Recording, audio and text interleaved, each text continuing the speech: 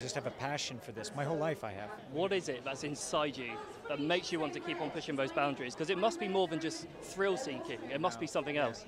It's curiosity.